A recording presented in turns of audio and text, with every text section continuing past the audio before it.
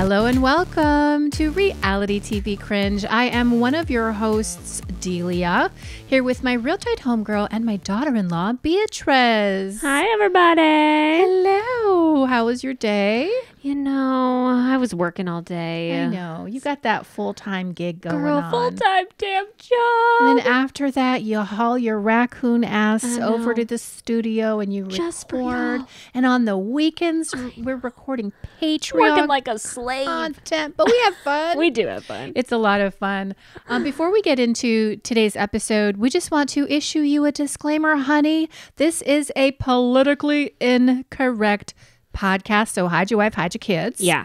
We say bad words. Mm-hmm. We have offensive and objectively stupid opinions Yeah. about a lot of things, and we will not apologize No. for it. And so if you're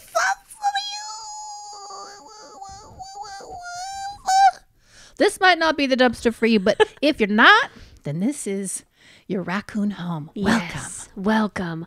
Also, go follow us on Instagram at Reality TV Cringe. That's the party dumpster over there. And we got a Patreon, patreon.com slash reality TV cringe, where we're covering a lot of bonus shows on A there lot. that you don't hear on the general pod. Love After Lockup, Gypsy Sisters, old seasons of Welcome to Plathville, and many more.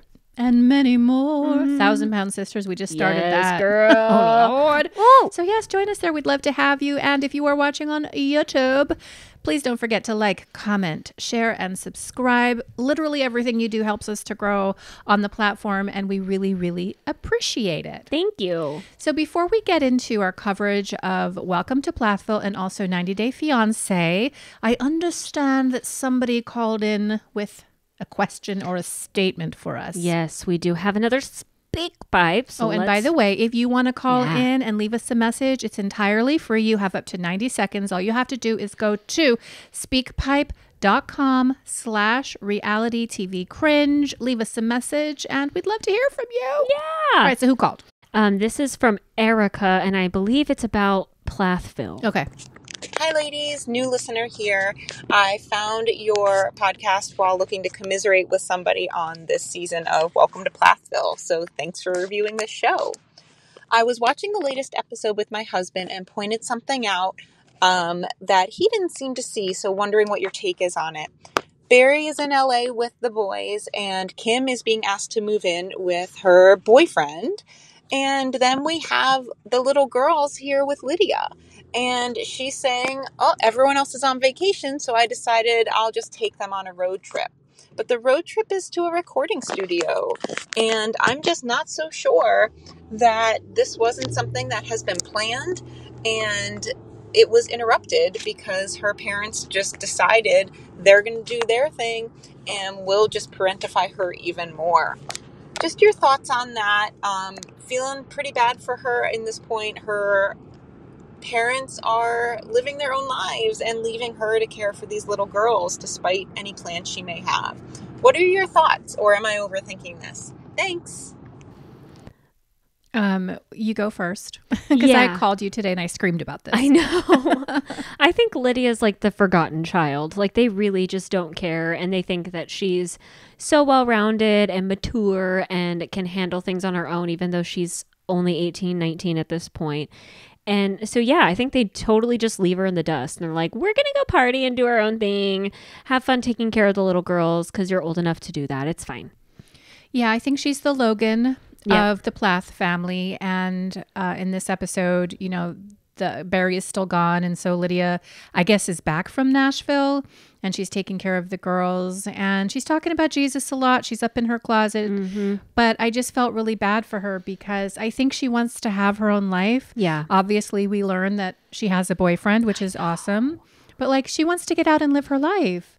And Barry, I mean, I understand that you're doing better, that you're stepping up, but like, you can't just be dumping your kids on the one kid who's been parentified this entire time. I felt bad for her. I know. I feel bad for her too. And she's just smiling her way through it and praying her way through it. Like it's not that big of a deal. But I feel like it'll come out later in her adult Mm-hmm. life, especially when she starts being a mom of her own and realizes, like, damn, I've been doing this since I was like right. 10 Yeah. and having to take care of everybody else, but who's taking care of me? Right.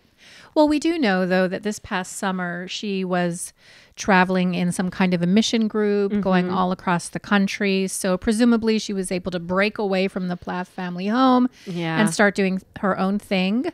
Uh, but yeah, what we're watching right now, I think, is unfair. And I'm just like, it just makes me more mad at Kim because Kim, while Barry is in Los Angeles or in California, Kim is down in Crawfordsville, Florida, having an adulterous affair with Ken Palmer. And Lydia is the one that's stepping up I know, to it's the a plate. joke. It's really gross. It's really freaking gross. And Kim acting like, well, it's my chance to be happy. It's like, okay, what about your kids? you though? have three minor children. Actually, you have four minor children because Yeah. Isaac is still a minor. It's not fair. Right. Totally, totally agree. Yes. Thank with you, your Erica. husband. Yeah. Can't believe there's a husband watching it. I My husband won't watch it. He'll just see it and walk right through the room. He's like, I'm not watching these people. They're so boring. I'm like, they're not boring. They're fascinating. they are absolutely fascinating. All right, let's get into the season finale of Welcome to Plathville, which is season five, episode 14, entitled To Be or Not to Be. That is the question. Okay. and the primary things that I wanted to get into, of course, was the conversation between Ethan and Moriah, Mm-hmm. the final moving out breakup of Kim and Barry, Yeah. and the breakup of Ethan and Olivia. And you had said to me last night when you watched it, because I didn't watch it to today, that you have some controversial opinions. Yeah. And I'm thinking, well, that's interesting. Yeah. I don't know if they're going to be that controversial. We end up usually being on the same page. Yeah, we'll see. I'll have you tell me your opinions first and then we'll see if we agree. okay. Well, before we get into it, what are like some of or like one of your major takeaways from the show? I mean, I'm liking Barry more and more every episode. I like the way that he carries himself with the whole like division of everything with Kim. Like he's just being hella chill, even though Kim and her talking heads is like trying to throw him under the bus and act like he's the one that's controlling their finances and controlling the divvying up of everything that they owned eh, when she's just being a selfish bitch like the entire time. So I'm really liking Barry. I think he's like made a huge turnaround from season 1, season 2 Sure. and I think he's like really grown up and is focusing on his relationships with his kids even though he's like leaving Lydia in the dust and just like letting her parent the rest of his kids. But we do see him during the season taking them down to Florida, Yeah. doing things with them. So I do think he is stepping up. yeah. And when he was talking about how so many people in the world have never heard their father say, I, love you. And he just, that's all he wants his children to understand is that he loves them. I was just like, I'm getting tear balls. I know. I love getting tear balls. that. I love that as well. My major takeaway is actually a question, and it's a question that I have for you. Oh no. And that question is when was the last time you cooked a meal? Like 2 days ago. I couldn't believe that. Were you mad by it? I was pissed off by Ethan Oh. saying that. Interesting. I was pissed off by Ethan saying that. Hmm. That triggered me. And if anything out of his mouth would have turned me turned my boat in a different direction, it would be some misogynistic bullshit like that. Mm. Because I think they have such bigger issues than who's cooking what meal. Yeah. And by the way, we saw Olivia cooking a meal just a couple of episodes ago. She was cooking some weird mushroom breakfast omelet thing, but like Yeah. it was just so insulting and to me reducing their relation down to these gender roles and i was like oh god because i think he has valid points don't get me wrong i think she does but like him saying when was the last time you cooked a meal? I was like somebody get me my nunchucks and my brass knuckles Yeah. and let's go to victoria minnesota. Mm. That's where i was left with that and i guess that's where it's going to be controversial. It's going to be controversial. I love it when we disagree. Okay. Yeah. so let's get into the episode. You ready? All right, let's do it. Okay, we start this episode in California. If you recall, last week, Ethan and Moriah sat down on their respective benches to have a conversation about what went wrong in their relationship. So, what was some of your thoughts about this scene? Well, I don't really know who to believe in terms of the whole like music debacle because Moriah was talking to Ethan about it and she does apologize in this segment for overreacting for the music thing. Mm-hmm. But Ethan brings up that actually, before they left for Europe, there was a moment where Moriah and Olivia sat in the kitchen on her laptop, Olivia's laptop, and Olivia's like, This is the password. This is how you log into your shit. And Moriah allegedly says, Oh, thanks. Now I can access it while you're gone. Mm-hmm. But Moriah's denying it in the moment and saying, like, I don't recall that. I can promise you that never happened. Like, I would have remembered that. Well, she says, I can promise you that never happened on the couch. She doesn't say it in the moment. No, she doesn't. But she says, I don't recall, and that didn't happen. Mm-hmm. Right. And so I just don't know who to believe. I believe Ethan. I don't know. He I was so specific. I, yeah, and I mean, like, why would he lie about it? I mean, I guess his motivation to, I guess, lie about it, if he is lying, is to protect Olivia, but I don't think he is lying.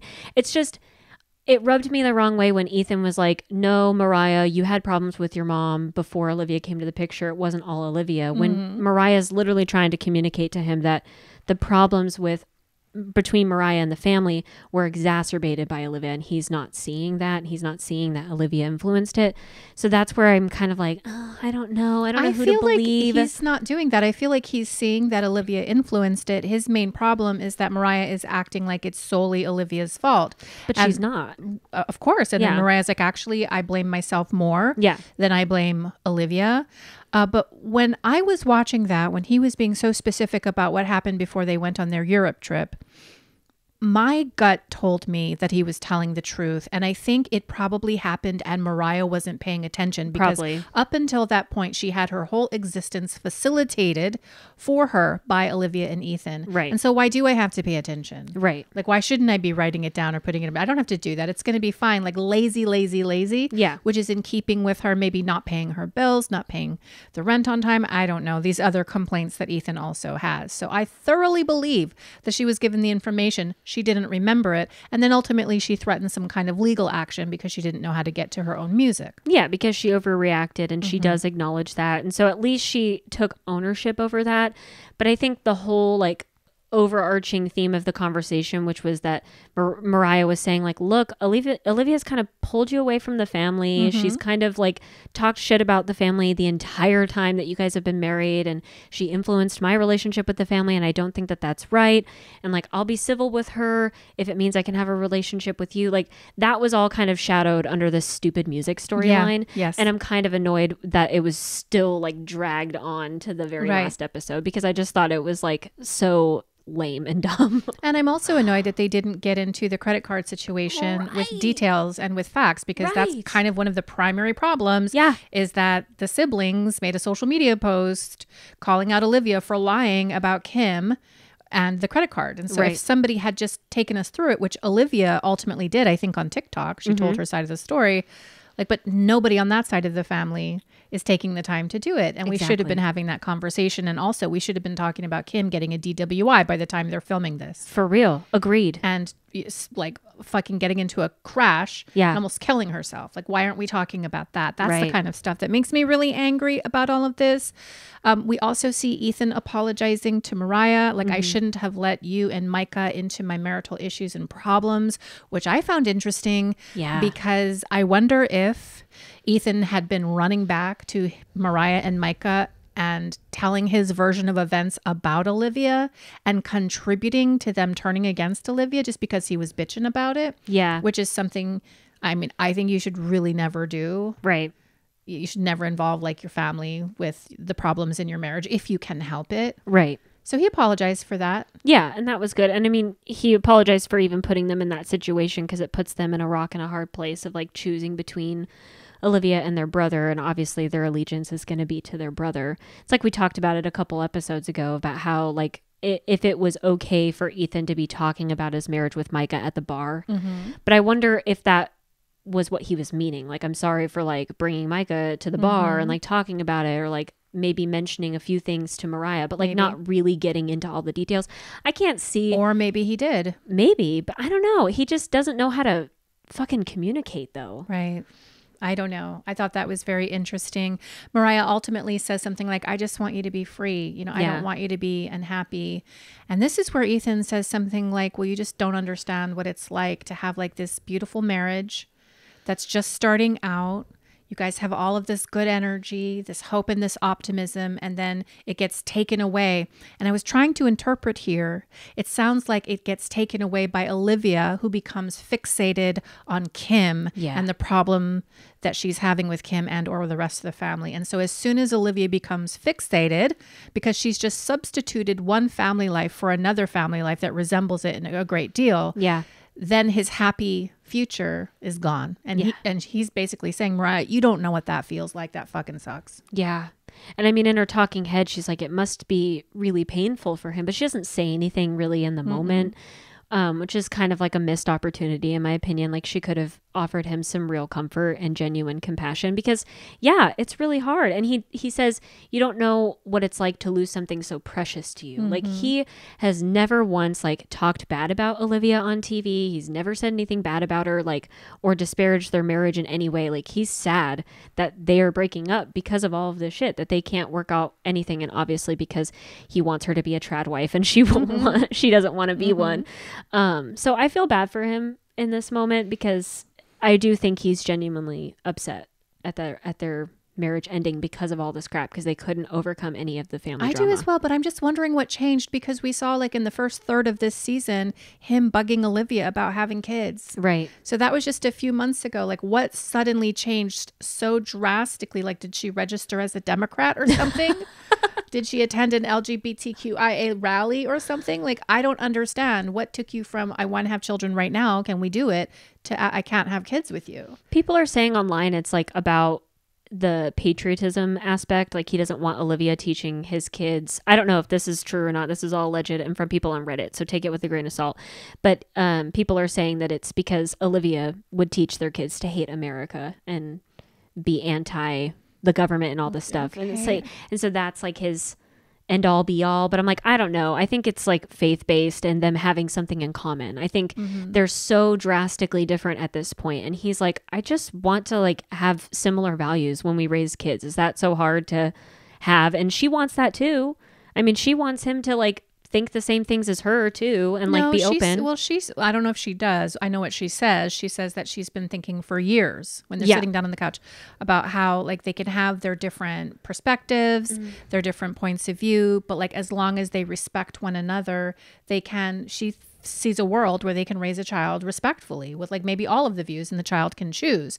So I don't know if that's true or not. Mm. Yeah. I just, I don't see any evidence that it could be about patriotism because Olivia has done nothing that's unpatriotic or hateful toward America. Like, Right. the only thing she's, to me, it feels about like homophobia. Maybe. To me, it feels like it's about gay people. It's about this type of a an issue, and Ethan is just a, a hard pass. He's just got a boundary around it, and he's not going to want his kids to grow up in an environment where that's accepted.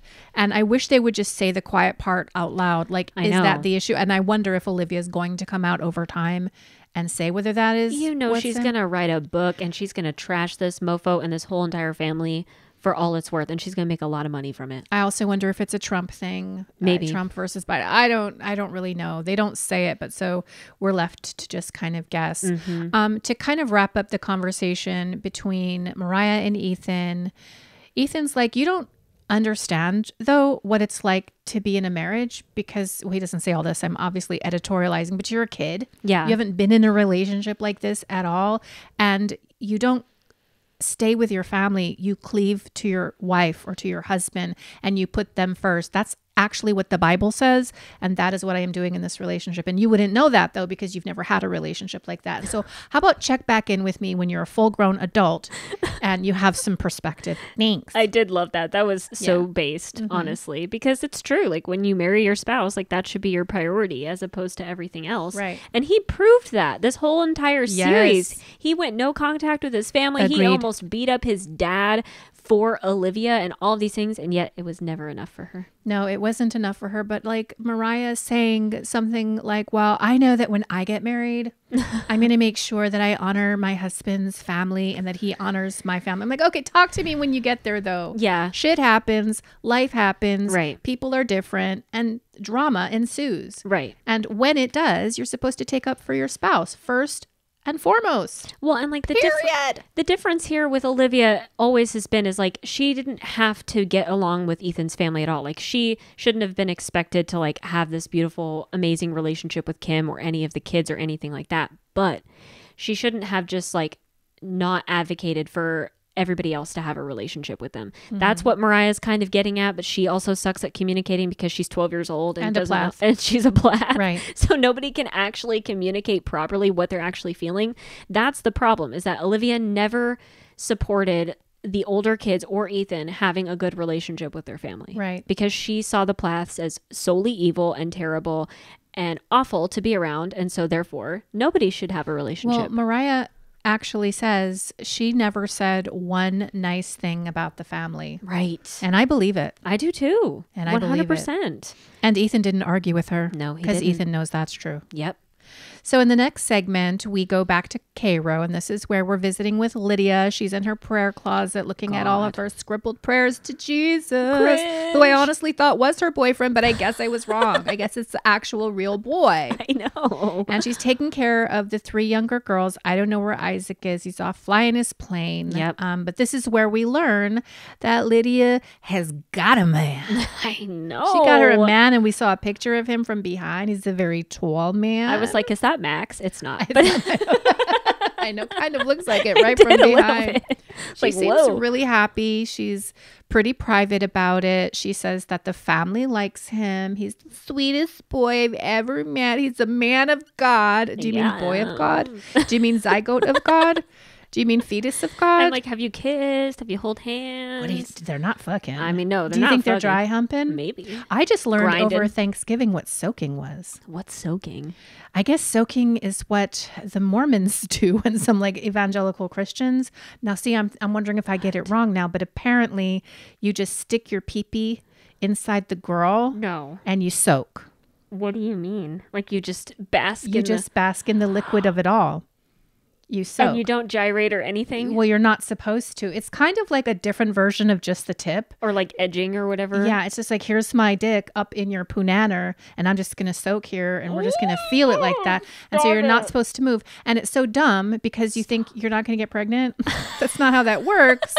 But it's a phenomenon called soaking. And please, uh, if you're watching on YouTube, in the comments, if I have this wrong, because I'm a boomer, which I'm not, but if I'm a boomer, tell us what soaking is. Oh, But I'm just wondering, is Lydia soaking with her boyfriend? With her boyfriend? She's too much of a good Christian girl to do that. Well, but like we were talking to my nephew, Yeah. who's like grew up in the evangelical church, and he was just like strictly butt sex because that's Jesus likes that better. and we had to educate him on that. On you can get AIDS from that. And he's like, oh, I thought only gay guys could get You AIDS. You can get all that." kinds of different things from that. Only gay guys. Like, help me. ding dong. People need an education oh in my life. God. And so Lydia's so happy. And maybe if there's another season of Plathville, which we can discuss maybe toward the end, whether Mm-hmm. we think there will be, maybe we can actually meet her new boyfriend. Yeah, that would be really cool. sweet. I'd love that. After that, we head on back to California. It's the last day of their little vacation. They do a sunset hike. Ethan and Moriah are speaking again, and they go scale some sort of a hill. and Barry just thinks to himself that this is great. It's symbolic of how relationships can be healed. You Yeah. can talk through things with people that you love, and it can get better. And he's really, really happy that they're all together. Yeah, I thought that was really sweet and wholesome. It seemed like a good trip, and I'm glad that Ethan came and like had time with his family away from Olivia. Yeah. It was really good. I thought so too. Yeah. Then we get to the division of assets, honey. Mm, this In the next scene, we have Barry back home. Um, he's going through some pictures Yeah. because Kim's about to come over and she's going to take some things. And he's trying to select some pictures for himself and pack some things up for her. So, what did you think about this? I thought it was kind of wholesome. Like he's just going through family photos and like just cherishing all of the memories. And I thought that was really sweet because I think about like when my parents did this and they didn't want to look at any photos at all. Like they didn't want to look at their wedding photos. They didn't want to look at photos of each other in them. And like when they divided mm-hmm. photos and everything up, like my dad was like, I don't want any photos of your mom. And my mm-hmm. mom the same way with my dad. I'm like, that's so weird. It is weird. Like, I'm glad that Barry can at least look at it all and be like, this was a beautiful marriage. Like, and Kim says it in her talking head too. Like, out of 25 years of marriage, like the best things that came out of it were all of their children that they Mm-hmm. had. And I'm glad that they both can acknowledge that and they're acting civil. I wonder if there is going to be another season of Plathville if we're going to get into more drama between Kim and Barry. Yeah, it's a little bit telegraphed when Barry talks about knowing that he's going to have to be in the same room with Ken Palmer at some point in the future, and he's just going to have to learn how to act, and it's, he's doing it for the kids. But I'm like, ooh, I hope so. I want to see how that goes. Yeah. because I honestly don't think Ken Palmer wants to step to this. Yeah. I do not think so. We also learned that the visitation has kind of switched up, Mm-hmm. whereas Kim was getting the girls from Wednesday to Sunday and then Barry from Sunday to Wednesday. Now the girls are going one week with Kim, one week with Barry. And I think it was Mercy, the little one, who was saying, I like that better because that means I get to be home more. And be see my dad more. Yeah. I'm like, oh shit, they're favoring their dad over Kim. Oh, yeah. which is good. I love that. And we already know she's made up her mind to move in with Ken. Of and we already know she's probably living with him right now at the Yeah. time of this filming. And so imagine the girls having to go down to Crawfordsville, Florida and spend their 50 50 time with Ken Palmer and Kim making out in the kitchen as they make steak and asparagus and drink their booze. in her mini skirts. Get Did you dr- notice when she Yes. came over in that mini skirt and no bra? no, bra. Girl, was she sending a message to Barry? What kind of message would that be? Like you you missed this? Cause no, I don't. I think having some support is actually way more sexy than just flopping on out there.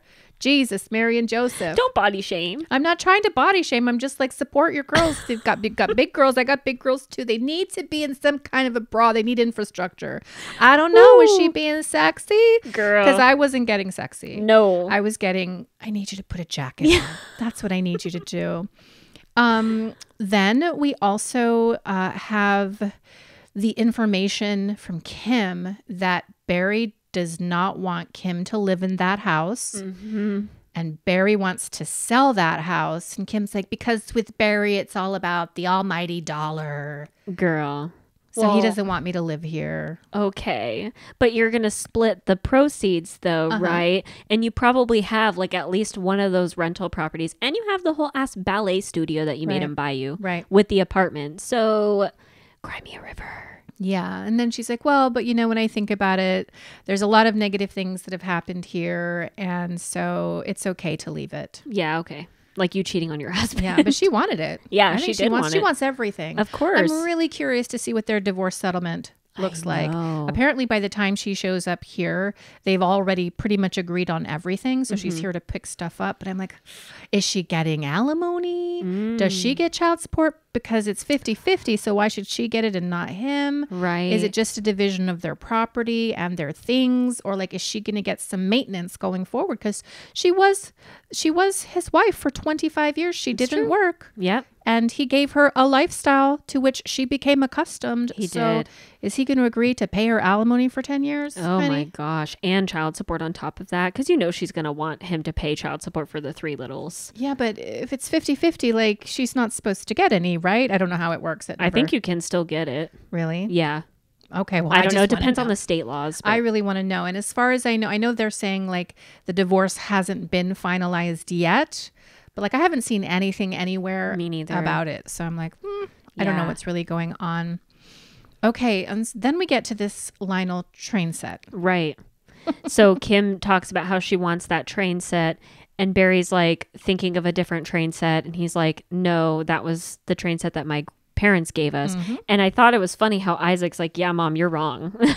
Quickly, I'm like, quickly came to Barry's defense, and he was wrong. Ooh, he was wrong. Mm-hmm. And he admitted to it eventually after he realized, oh, yeah, we have two train sets. So Mm-hmm. here's the boofy one that Bill gave you. And then I'll take the one that my parents got. But you did see Kim back down. And did. Kim even says to the camera, like, I know the moment Barry is shutting down and he's getting stubborn. And I know that it's not going to do me any good to argue with him. Mm. And so he'll go and look on his own and figure it out for himself. Sounds like just- Ethan Plath. uh, probably. He's just shutting down. Yeah. And he's getting upset. She also says later in this particular scene that she's seen a new side of Barry since the divorce and maybe if he'd been more emotionally tuned when they were married they wouldn't be on this path and i'm like to myself saying self if my spouse was an adulterous hoe you'd be seeing a different side of me too one that has nunchucks brass knuckles and a gun Yeah,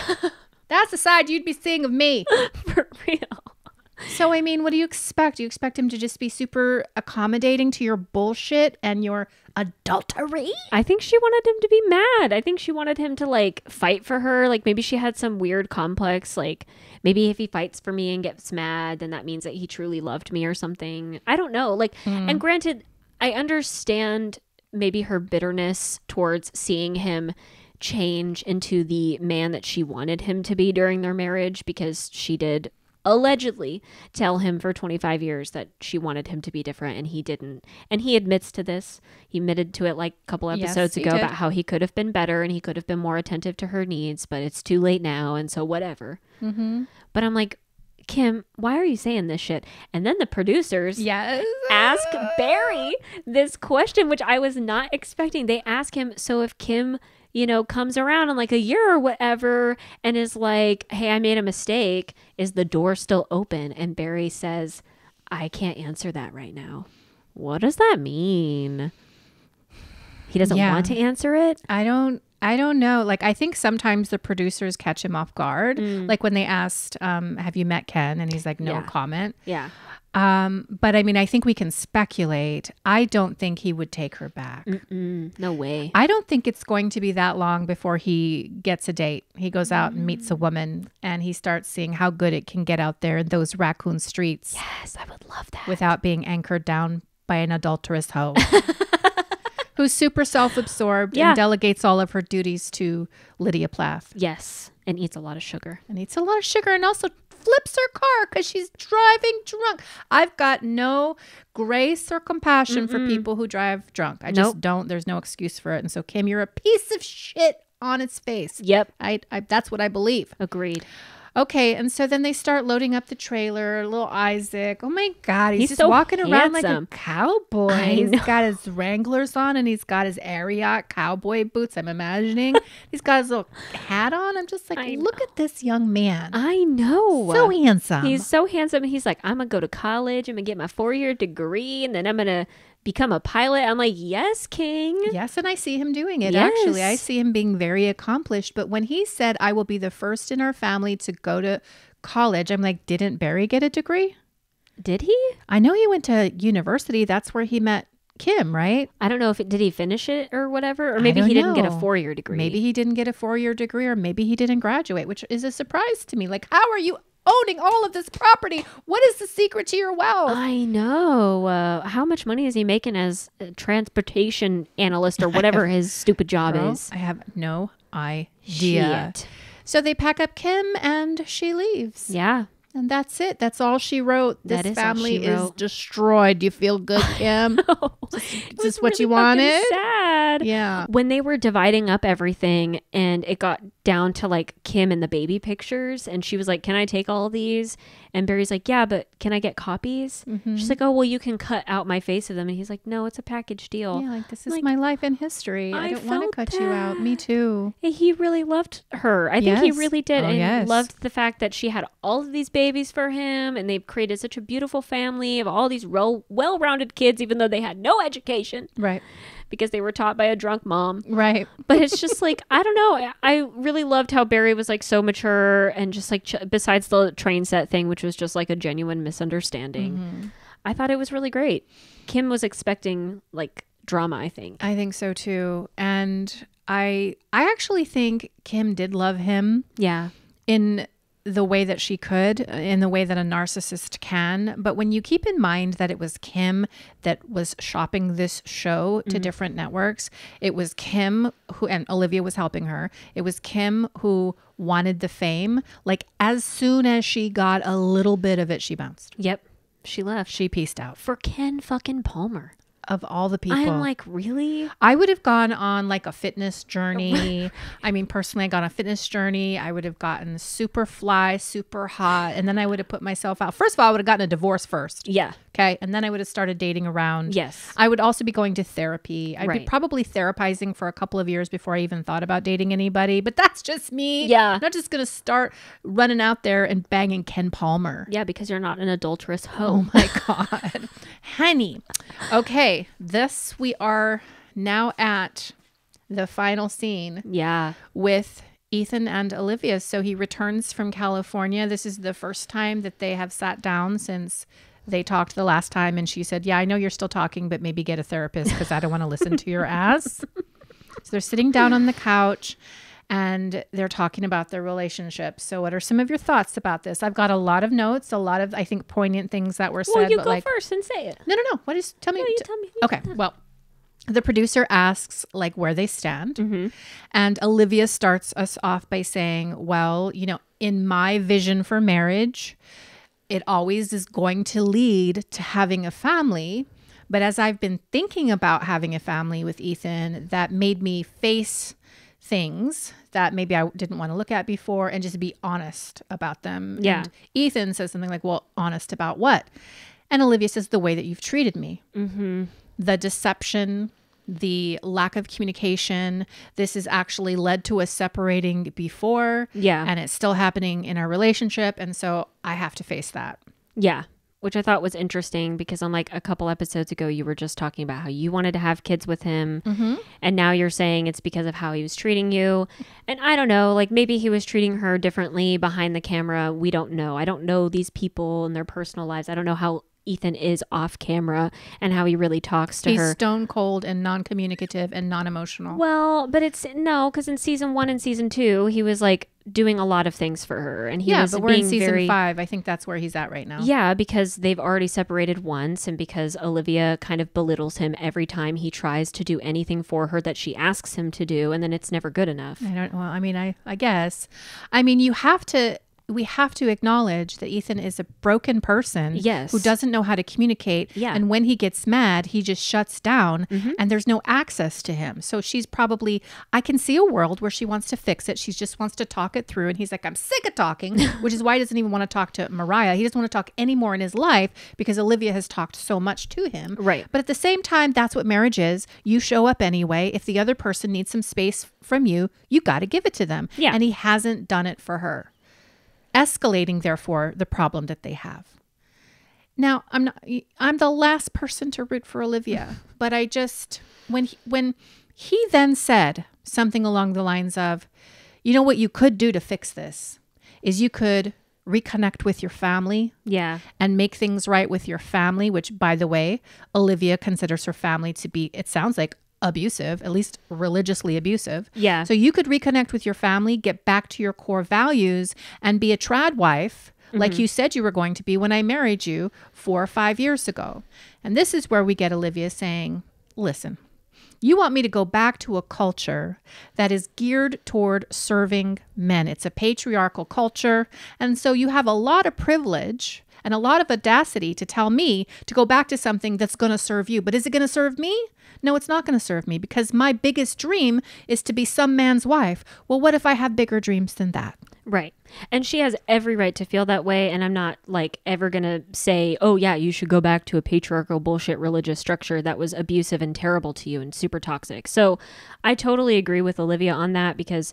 Again, she has every right to be an independent woman and like live the way that she wants to live. And if Ethan can't adjust to that, then you know, so be it. That is that is what it is. But I do think that there was a little bit of truth with Ethan saying to her like I think the root of a lot of your problems is the issues and the relationships with your family. I do mm-hmm. think that there was truth to that. She kind of spun it into the whole religious doctrine stuff because that's the filter that she's seeing everything from. And again, that's fine. Like it's she's on her own journey.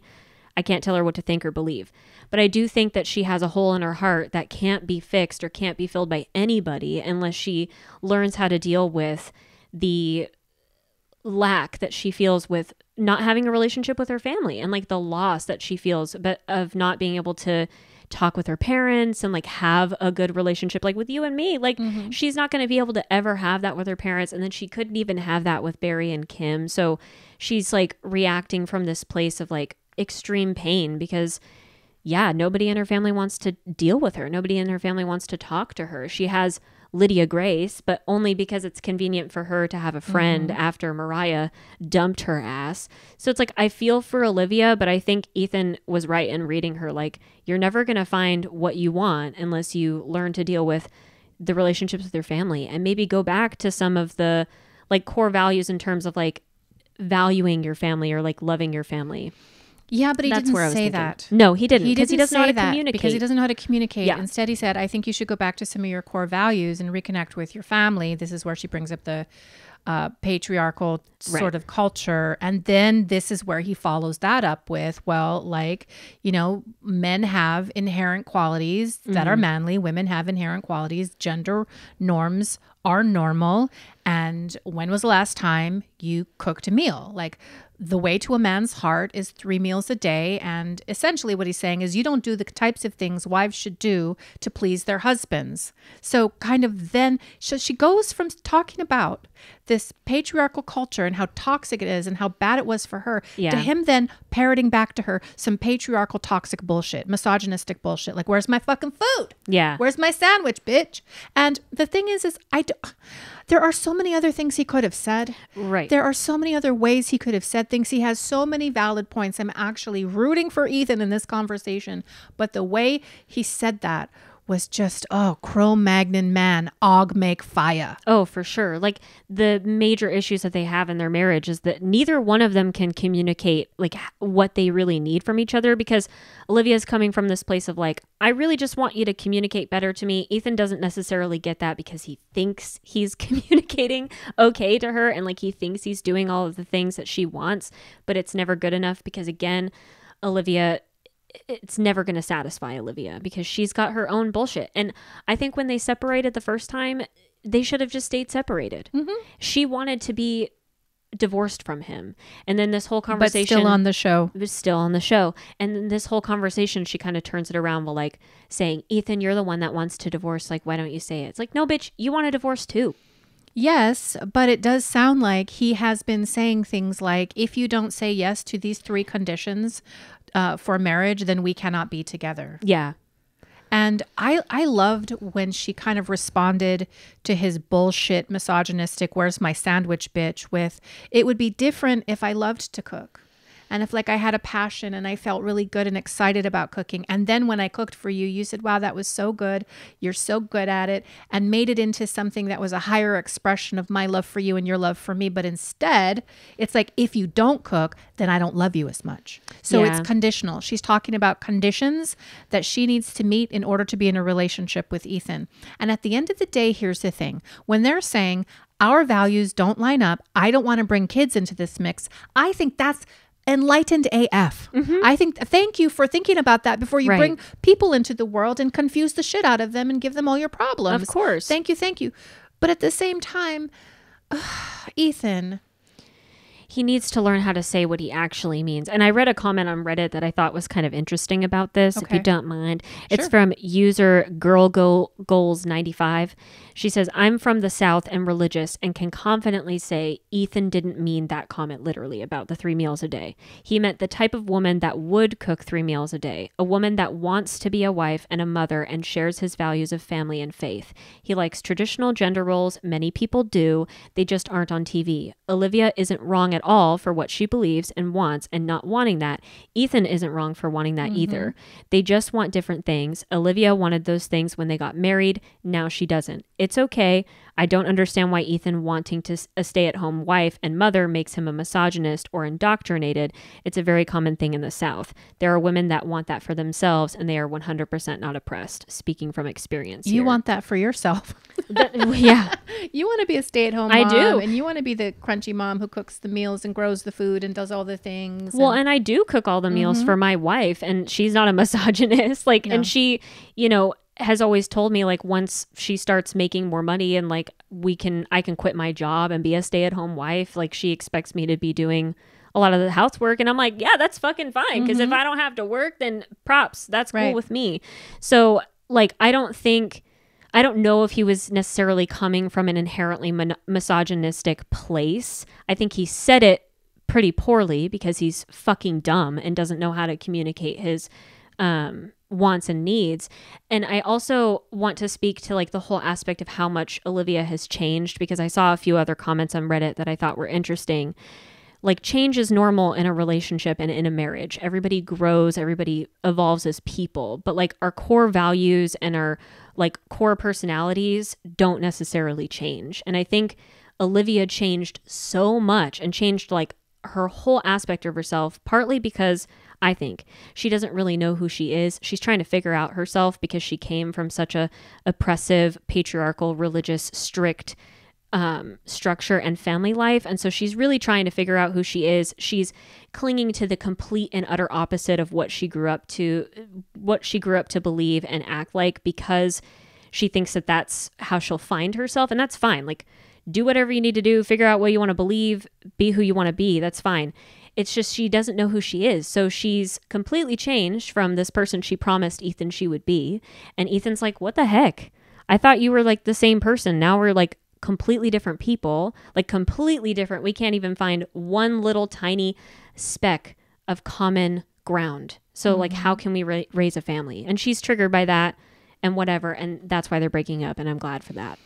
So I don't agree with you that people don't fundamentally change their core values because I've lived on this planet for am I in my sixth decade or fifth decade? I don't really know how it works, but I'm I'm 55 years old. Yeah. And I have changed my core values a few times over, whether that's spirituality, whether that's perceptions of myself, mm-hmm. whether that's fucking perceptions of society mm-hmm. politically. I have changed over and over and over throughout the years. And I think that it's pretty normal for us to do that. And I think life is about that. And so I think, and you, we cannot discount that Olivia was 20. Yeah. And I agree 100% that what she's living now is a reaction to how she lived before. And so it's mm-hmm. like a pendulum swing. Here Yeah. she was living with her family with 10 other kids in this very strict, patriarchal, hyper religious situation. And the pendulum kind of swung to where it swung swung to where she got married to Ethan, but she still found herself in much the same kind of a construct. And mm-hmm. she's moving with the, the final swing all the way up here. So she's in reaction. I think she's in reaction. I think ultimately she's going to end up like right in the middle, like the pendulum always Right. does. And I think Ethan is going to too. Yeah. And what that means for me is I think when she's 30, 35, she's going to look back on this and she's going to see Ethan in a different way and Yeah. see herself in a different way. I hope so. And I think Ethan is going to be a 40 year old man and he's going to look at his 24 year old self and how he threw away a relationship with someone who had a lot of good raw materials to work with. I am not an Olivia apologist, Right. but she's an intelligent, beautiful, thoughtful person who gets it wrong a lot of the times. But you try and check with me when I was 20 to 24. I was a crazy person. yeah, same. I just feel like he's going to look back and he's going to regret the judgments that he's making on this woman that he is supposed to love unconditionally. Yeah. So when he says, You changed, and I changed in reaction to your change, and Olivia's like, People fucking change. Yeah. And furthermore, a marriage should be a place where it's safe to do so. Right. It should be safe for me to explore myself within the confines or the connection of this marriage. And you should support that. I mean, the horseshit I've put my husband through, all of my husbands, by the way, the horseshit of my journey that I put all of my husbands through, and each and every one of them gave me space to do it. Right. So I I feel like I feel sad. I cried about it. Yeah. And in the end, when the producer's like, this sounds really final, and Olivia says, but I still I wish the very best for you. And the way Ethan looks at her, I know. like looking her up and down I and saying. I love you very much. I know. Oh. I felt that.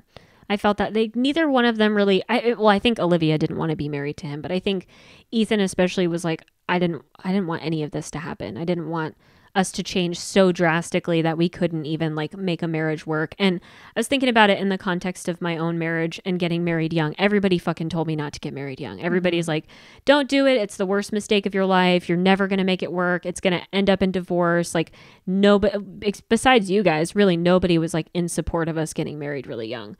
And, and I guess part of that comes from like how difficult it is to be married at such a young age because you have two things you have to do in a marriage. Like you have to grow together as a couple, but then when you're young and you get married, you have to grow up and you have to grow up individually. And that's really fucking hard when you're trying to grow mm-hmm. up as a mm-hmm. person and try to work on a marriage. Marriage is hard. And so mm-hmm. like they're really young. They were really trying to make it work Their brains aren't fully formed they're yet. not fully formed at all yet. Scientifically. Scientifically. they're not fully formed adults yes. yet. And so of course they're like making mistakes left and right. And like this was the episode where I actually did start to feel for Olivia a little bit more because for as much as she has toxic behavior and manipulative tendencies, I think a lot of that comes from her shitty fucking family and her toxic upbringing and she doesn't really know anything different. And she really needs to spend time on her own and like working on herself and going to therapy with a therapist that'll actually help her deal with all of this shit and the religious trauma of it all. And so she can be better and like mm-hmm. have a good healthy relationship with somebody who loves her the way that she needs to be loved. And i wish the same thing for ethan. One thing olivia said that i thought was so poignant was that um, she was born to two people who held their principles higher than their love for her. Yeah. And then she says, and I don't want to perpetuate that by having kids and doing the same, but what she should have said, and I don't want to be in a marriage with somebody who holds to their principles right. more than their love for me. Right. Like I don't want to continue this pattern in my life. Yeah.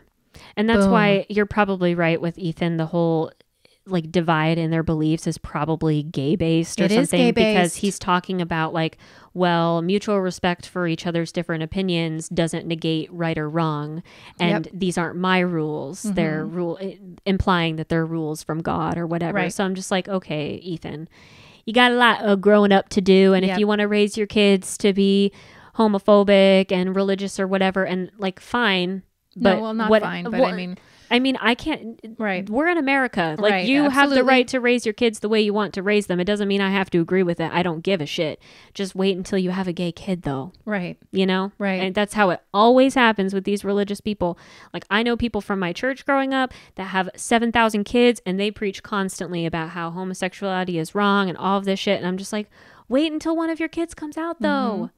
And then what are you going to do? Send them to conversion camp and traumatize them for life. A lot of them do. Yeah, a lot of them do do that. Yeah. I just, you know, I just feel like Ethan is moralistic, idealistic, or yeah. he's got an ideology around his morals that's mm-hmm. just problematic. And, and it just doesn't allow for the different types of people in the world, the different shades, the different everything. Like it's just stupid. Yeah. It's also so myopic it's yeah. like just you've got blinders on in your little life, your Jesus life, which by the way, there's a lot of different things that you do that actually aren't in accordance with the tenets of your faith. But that's okay though, right? Right. It's just Olivia having compassion and acceptance and tolerance for people who aren't like her. Like we're taking liberties here because we don't know that that's the fundamental issue, but it sure smells like it, honey. Yeah, it, it sure smells like it's around gayness and LGBTQ and probably politics, right? Because yeah. they mention politics and society and things, but I'm just like, oh, grow the fuck up. I know. Even then, I'm not entirely sure what Olivia's full stances are on mm-hmm. that kind of stuff because she's still friends with her brother. What's his name? Nate. Nate or whatever, String Bean, who is very anti LGBTQ, which he removed from his bio recently on Instagram. Yeah. So I don't know if he's been getting hate yeah, from it or he's definitely getting hate. And after Olivia's you allowed Olivia to put makeup on you yeah. and dress you up with makeup and I don't know if it was a wig or in a dress or whatever. And I'm just like, what? Y'all need some therapy. Mm-hmm. Y'all need to get yourself together. It's like, yeah. look at the log in your own eye before you start picking out the speck in somebody else's eye. You judgmental fucking assholes. Right. Anyway, so um, but they're kids. You know, when I yeah. was that age, I was a missionary, honey, which is yeah. the most offensive thing. Here, talk about values changing. I was a missionary three times. Yeah. Going to other people's indigenous lands and trying to convert them to my religion. How right. audacious and offensive. And I would never presume to do anything like that. But these are kids. Yeah. And when you're a kid and you're converted, there's something different about it. It's like this fire in your belly that you have mm-hmm. for Jesus. You see it with Lydia right now. Yep. In her closet. Yep. I know. God bless in your closet. But like, talk to me when you're 30 and your husband's cheating on you and you've got a bottle of wine every night at 5 p.m., Lydia. Right. And then we can have a conversation about what it means to be alive on the planet. Seriously, these kids acting like they know anything. Y'all don't know shit yet. I mean, and look at your mama. For real. You already know it doesn't stick. For if You real. watch your mama.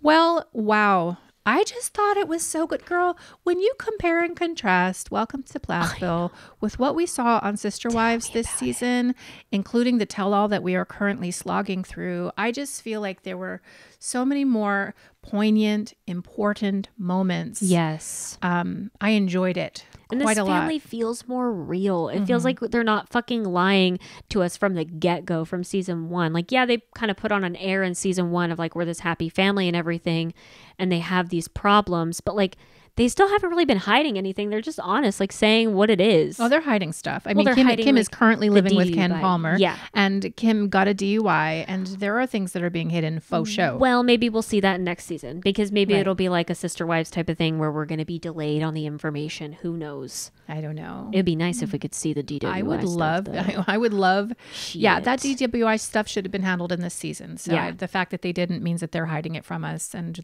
it is what it is. But if Yeah. they come back, I would love to see Ethan courting another woman. I would love to see Micah courting. I would love to see Lydia's boyfriend. I would love to see Barry going out on the Tinder or something, Oh swiping this way and that way. Farmers only. Yes, farmersonly.com. Get you a farm girl, honey, to take care of all of them I cattle. would love it. We love that for you, Barry.